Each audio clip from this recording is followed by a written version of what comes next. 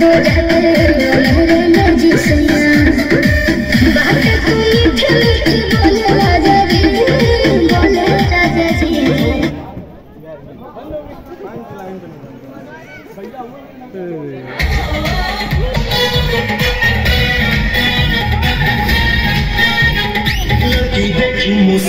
सजे हाथ से काली